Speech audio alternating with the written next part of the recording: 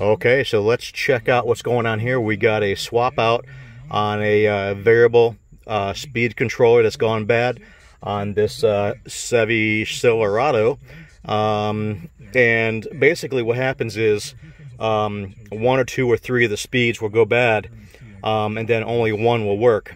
Um, and on this scenario, this happens uh, to almost every model where one or two or three of these speeds will go out and only like number three will work, number four will work, or number two will work.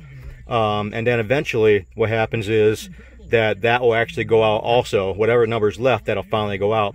Uh, a lot of times you can like, you know, just bang on the dash, the uh, steering wheel for a second really lightly and it'll shake the dash and it'll kick in the uh, fan motor, which is really odd. But the only thing it's doing is this, um, you know, putting a little vibration on the speed controller and helping that little resistor connect and then it kicks right back on. So um, let's take a look at what's going on down here. This is what's really going on. Um, first, you got to remove your uh, cowling. So there's uh, four bolts, as you can see where they are here. Okay, there'll be two here, one here, one here, one's over here, and then another one's over here. The one here is hard to get to, um, but uh, I took that out. I took these two out. That one you can leave in and just swing the cowling back.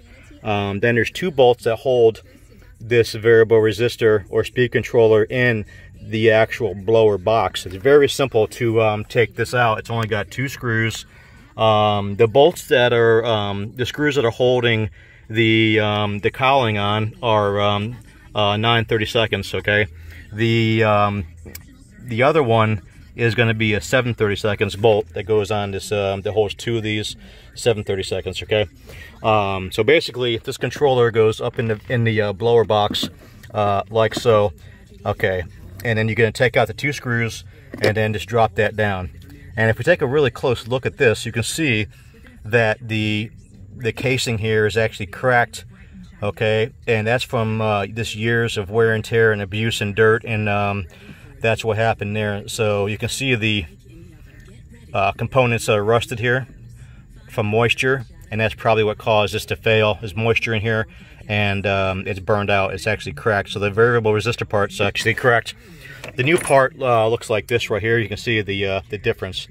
Um, this totally brand new. Um, it's got um, a relay on it, a power cord on it, and then it has the plug-in for different speeds. So um, they sell them in different uh, models, and um, there's cheaper ones and there's more expensive ones. Um, and I would say buy the middle one. Um, this Master Pro, we had good luck with those. I'm not, um, you know, saying buy the Master Pro, but, um, you know, it was like 48 bucks and they last a long time. It's going to outlast this truck. But it's a very simple, just unplug this, unplug the other one there, the red and the black, plug it back in exactly how you found it, put the two screws back, uh, put the cowling back, put in your four screws, and it's done. It's that simple. It's literally that simple.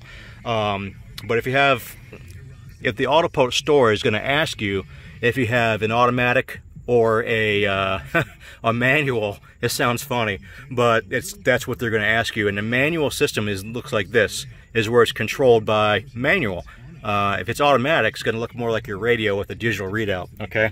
So it's that simple, guys. Just This is a work truck, so it's a little dirty, but um, that's as simple as it gets. His truck has uh, 168,000 on it right now, and it never let me down. So well, I think we put on a water pump, um, a couple belts, alternator, a, a let's see, brakes, all the way around and we also did the um, the booster and the master cylinder. So basically um, it's in pretty good shape.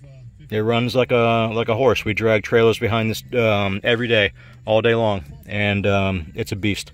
So anyway hope you enjoyed that video. Hope it helps you guys out. It's a very simple process. It's very cheap